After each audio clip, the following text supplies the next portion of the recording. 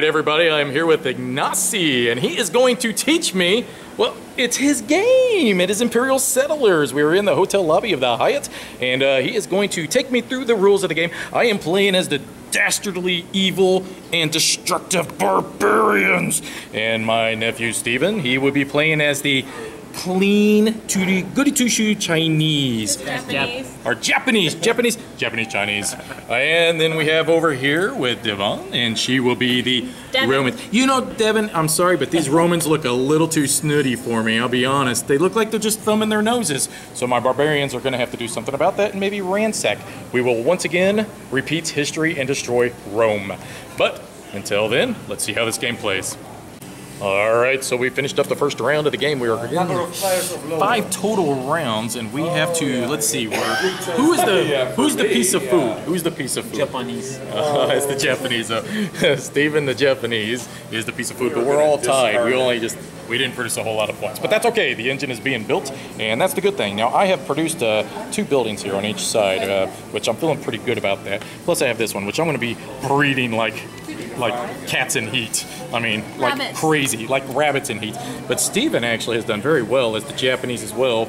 Built quite a bit, which is very impressive. And over here we have the Romans, which yeah, it's not too shabby in itself, given the fact that this is our first game. Now, the one thing that I noticed about her is she has two cards that she's built down here, which is very impressive. That once she spends wood, I'm sorry, food and stone, she's going to be able to start gaining victory points. That is not good, but that's okay because I have the ability right here to steal resources because I'm evil. Anyways, round two, go. All right, so here we are at the beginning of round three, and I am an action producing machine, but I don't produce stuff, I just like to take stuff. I like taking stuff. I, uh, I make weapons, I destroy buildings, I build these types of buildings here over on this side that allow me to take the resources, and I can do that twice. This here would allow me then to free up this so that I could do it again. So three times per round, I can steal their stuff, which is funny to me. Um, now, not so much to them. Now, Steven there, late in the game, was starting to get a little carried away with his production cards, so we had to do a little something. We ganged up on him and we destroyed a couple of his buildings. But this is becoming a problem. This here is becoming a real problem because she's producing a ton of resources, and I know this is going to become a big issue later in the game. What scares me more than anything is I'm thinking I'm going to have to destroy this thing, but I think uh, one or these two, I don't care, because I'm going to have to cut down on her people, bottom line. Um, or I need to come down here and take care of some of this. I don't know. But the score's still close. Nobody's run away with it. Um, Steven being the apple, Japanese apples. Yeah, they're delicious. But I'm still in last. But that's okay. I have feelings that I can do something here eventually, if nothing more than just torment my opponents. All right, so here we are at the beginning of turn four. All right, the barbarians are breeding. when I said that they were breeding like crazy, like cats in heat last time, or rabbits, as uh, Devon likes to say, Devon, uh, I was wrong. They're uh, it's amazing. I mean, this turn I have produced so many people. And the reason is because I forgot one little thing is that I can store them. So I carried some over just for this purpose, to try to have a bigger round.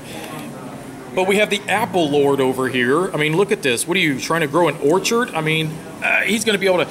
Now, one thing I'm going to tell you, okay? This is what apples do for you, okay? They're allowing you to be able to put cards underneath here, which then is allowing him then in turn to be able to create more resources for the each turn. So basically, he spent an apple to place us there, which got him an apple, spent an apple, placed that there to get him an apple, and now at the beginning of this round, he got two more apples. So you see what happened here. He comboed.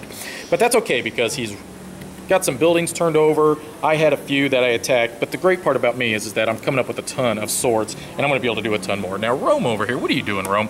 Rome is, uh, in my opinion, starting to produce a lot of cards that are just giving victory points as actions, where I'm like pillaging and raiding. She's just getting victory points, and as you can see on the score track, I am getting far and farther behind. So I'm going to have to do something this round, and we'll see what it is. All right, here we are in the final round of the game, and look at look what the barbarians did. Look at that. See that? But Rome is still running away with the game as of now. There's a little secret I haven't let Rome in on yet, but she will soon discover the brilliance of what I have produced here on my my tableau is amazing. It really is. Everything that I am doing in the, as the barbarians is just to screw with both of these players. I don't necessarily produce resources, but I produce people, and I produce lots of people, and these people do lots of bad things to other people because now I've armed them. See them little swords? Yeah, they're doing bad stuff. Okay, I digress. Apple Lord over here. Um, is doing pretty good. Now, one thing that was funny was is we didn't notice this was one of the first cards he actually built. Okay, a production of one victory point. So you're only ever going to get a maximum of five victory points out of it, and he's done it. I mean, miraculously enough, none of us have destroyed that building, which has allowed him to keep that building alive, and he has, in fact, produced a ton of victory points out of it. Now, the, look at this. Is this not just crazy? Look at all them things he's producing each round. So he gets these automatically each round, okay? That's right there. But look at everything else. And that's because he's Apple Lord. And it's making it easier for him to just keep producing more and more. J- Japanese is about producing, you know, this. I mean, they, they, they, they, they the food stores, it carries over, they build more cards, they produce more, they get more cards, and, and then it just gets it's an engine. That's their engine. My engine's people, their engine's that. What about Rome? Rome's engine is basically resources themselves. Now, okay, now this doesn't look like a ton of resources, but that's fine because the thing about it is that she's bouncing these off of these victory points, and she's still winning the game uh, for right now. So, anyways, we're at the beginning of round five. We're going to see how this thing plays out, and we'll see who is crowned the victorious victor. Victorious victor. That makes sense. All right, everybody, we finished up our game here, and uh, the barbarians were just too much for everybody because look how much they expanded on this side of the board. Now, the little secret was was that each one of these cards was worth two victory points at the end of the game. Unfortunately, my compadres here did not realize that. Too late. Um, so I only built one on this side and a bazillion on this side. The final score of the game, if you can see, the Barbarians eked it out over them snooty little Romans who ran away early with the game and came back to destroy everybody and win. Oh, yeah, it ain't necessarily destruction, but it's still a win, ain't it? So, anyways, I have to say, I really enjoyed this an awful lot. A heck of a fun game, lots of sacrifice, lots of give and take. The Barbarians are just absolutely nasty. Just the meanest faction I've ever played with.